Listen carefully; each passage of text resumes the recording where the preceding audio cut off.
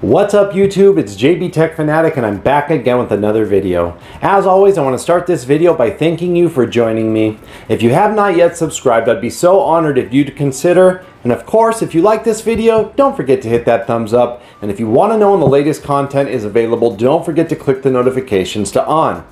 Today we're back with Samsung and we are in the kitchen. Now I know this is sort of an awkward setup, but the overall goal here is to show you the all-new Samsung Stormwash and help you decide whether or not it's worth your hard-earned money. Now when it comes to dishwashers, there is lots to choose from, but what we want is something that cleans our dishes, doesn't leave spots, and takes as little as maintenance as possible, and of course, will last you for years to come. Let's check this out together I'm so happy you're here. Let's get started.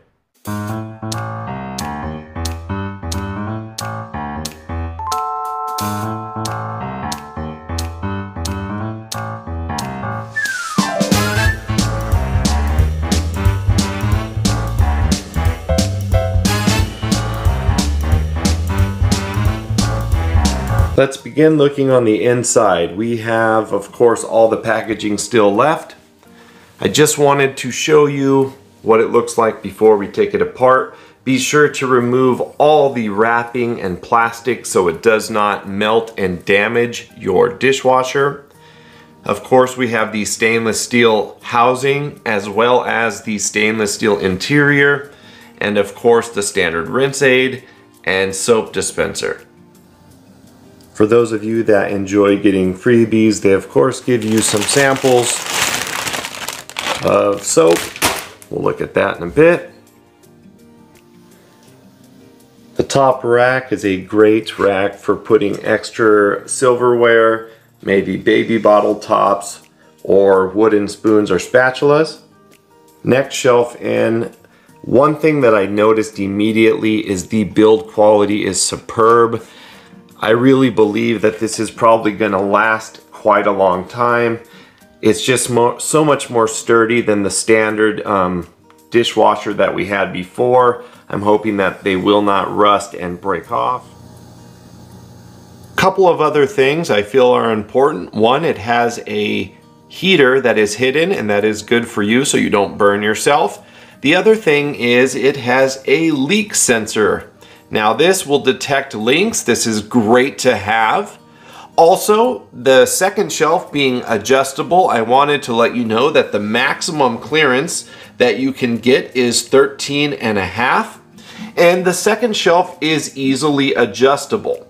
Before I show you that, I wanted to point out that it continues to use the nylon as far as the rack coating material, so it should last. When we pull this out on both sides, you will have a little blue handle. All you would need to do at the same time, of course, is lift up.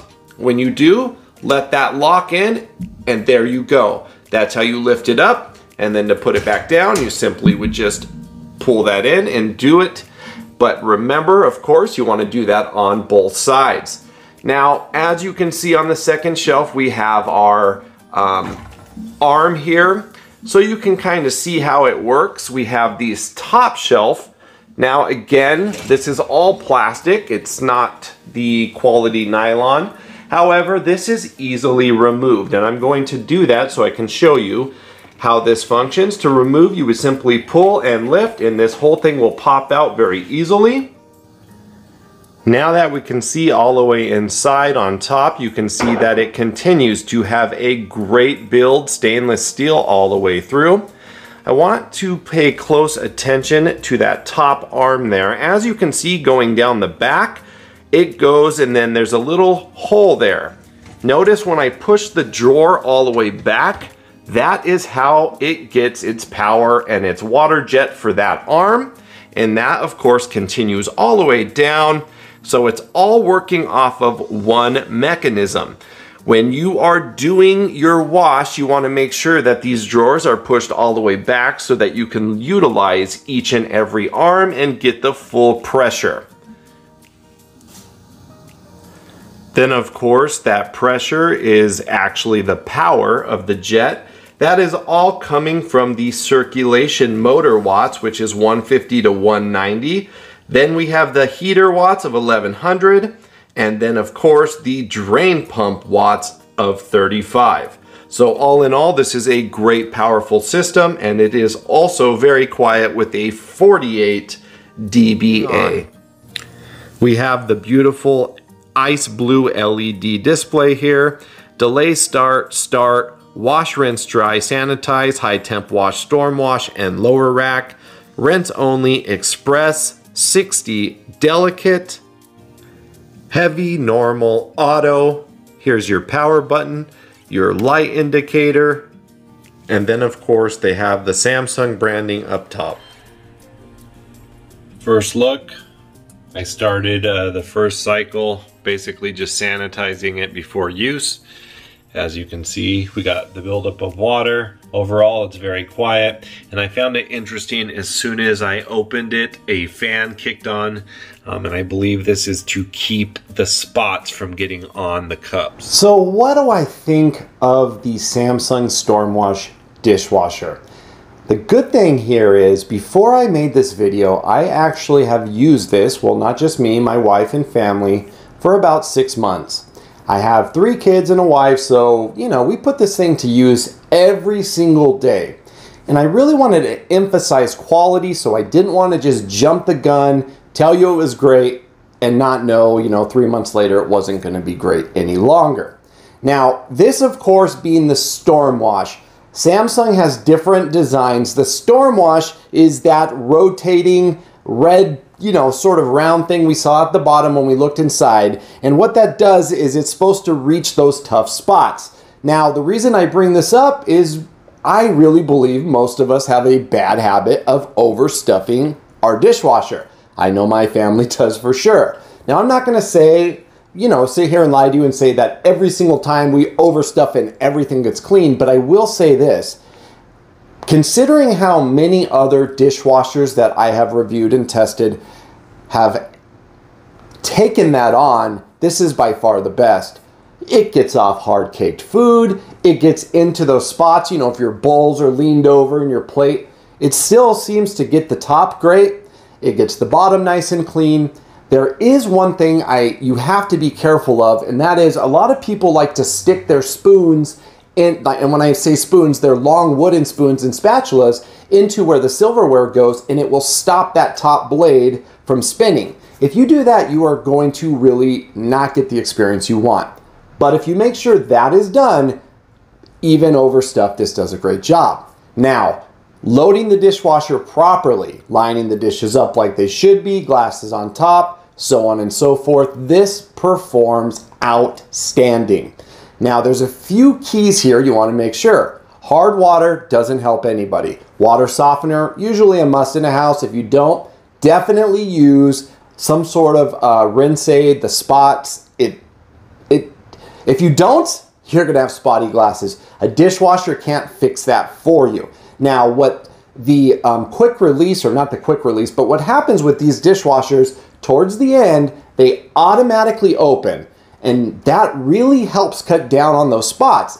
It blows hot air, the fan gets all of that moisture out, and that actually helps the spots. I would say if you have no um, soft water, you don't use a spot remover, I would think if I'm just logically telling you a number, 50% better versus if it did not open at the end. Now with the remover and using all the correct products, little to zero spots. And that's so important. Now, it's very quiet at 48 dBA. Kind of talked about it. Again, it's called the auto release door. That is a must feature. So if you choose a different uh, product by Samsung, look for the auto release. To me, that is a must at this point. Um, the third rack, that's not for everybody.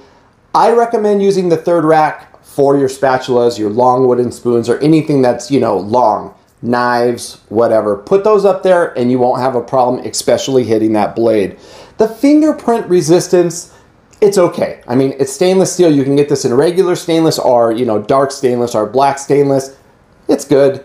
Your kids are still going to get some, you know, smudges on there, but it is what it is. Now, the adjustable rack, we took a look at that. Use it. If you're gonna use larger dishes, or maybe you just wanna use the bottom, move that top rack up all the way. And then if you wanna put smaller dishes at the bottom and you wanna get that nice and loaded, drop that down. I think that's another must that you should look for, and this has it. Now, other than that, it doesn't have a lot of smart features, and my channel's all about tech, but overall quality, I will say that this is an 8 out of a 10. Now, why would I give it an 8 out of 10? Well, first of all, nothing's perfect. We all know that.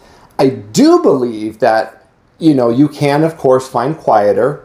Again, you might pay a little bit more. Um, also, I would have liked to see smart features. So that's really the only problem I have with this dishwasher. Of course, I, you know, in this day and age, some coatings are better for fingerprints, and I know you can buy spray products that help. I think that could be also a little bit better. Other than that, I definitely think that this is an awesome dishwasher that you should check Very out. briefly, I wanted to go over a few things that I hope might help you.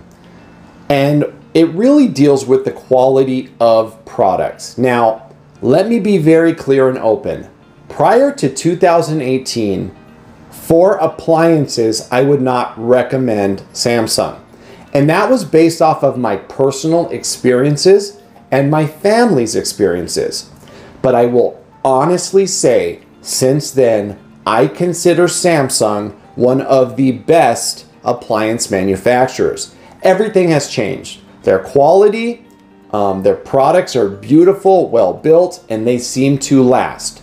Having said that, there is not a product on the market that will not have bad reviews, and there is not a product or brand on the market that will not fail some people, that will not show up broke or break fast. Now, appliances are not food, so there is no expiration date and they don't change the lines too often, meaning they might have the same model number or the same model or looks like the same model for five, six years. The best thing you can do to protect yourself, unless you get a, you know, a killer deal because it was, you know, 75% off or something, check the manufacturer date when it's delivered to your house. It should be manufactured the same year you purchase it. So if it's 2021 or 22 and they bring you from, you know, 2017, send it back, say you want a new one. Also, buying an extended warranty, I understand it's never fun to spend the extra money, but if you're going to own something to, for four or five years, and this really goes for anything electronic, appliances, you're going to use it and it's going to pay for itself. We live in a throwaway society that's not really about fixing anymore. It's it breaks by a new one. But not everybody wants to do that. So what I recommend is looking into a home warranty or buying the extended warranty from the manufacturer or the store you purchase it. It will pay for itself. Now I don't rep represent any companies or anything. I'm just letting you know reviewing technology and appliances essentially everything is going to break and if you want to keep it for a long time that will help you. Don't forget, bad reviews doesn't mean that the product's bad. Research it. Don't take my word for it. Don't take anyone else's word for it. Research it. If it has the features, make sure it's manufactured that year. Buy an extended warranty. It kind of takes the weight off your shoulder, and then you can enjoy. Just to show you some quick results, what I'm going to do, as you can see, I picked out some pretty bad cups. I stuffed the dishwasher. I did it purposely bad. I just threw all the cups in there, everything sideways, and I just did this to see what will happen, how they'll turn out. Now I will show you what I'm gonna run. We have lower rack, storm wash, two hours, 52 minutes, and over on the left here, I'm just gonna run it on auto. So let's see what happens. So it's almost finished. As you can see, we have six minutes left. It popped open automatically. You probably can't hear it, but you can hear the fan and it's blowing out steam. This is to help with those spots. So at this point, it shut off, it finished. I can already see that, first of all, dishes got fumbled around a little, so you know that it's a powerful jet. And also I noticed that the hard water that was on top of the cups is much better. In some cases, completely gone. In others, there's a little bit left. But again, remember, I threw everything in here. I didn't try to put it in properly for a reason. Still a little bit hot, but I'll give you kind of an idea. Now, these aren't brand new glasses, so they are actually crystal clear, except for the fact that the wear and tear, you know, from it not being new. Otherwise, it did a great job so far. Also, I was curious, I threw these bowls back here where you can see that it can't really get a good blast of the water. And I put a bowl back there. Let's pull these out and see what they look like. You know, overall looks pretty clean. There is a few spots, but the bowl is clean and it actually did have some hard stuff on there. And as you can see, it left just a touch here. But again, good job for the way I loaded it. Pulled out the bottom drawer here so we can kind of take a peek. Again, it's a dishwasher, it does a great job, even when it's not loaded perfectly. You know, I still would recommend if you have really hard caked on food to scrape it off. Sorry, having a difficult time here with the camera and doing this, but perfectly clean. All in all, great job. Take a look at this cup here. Nice and clean.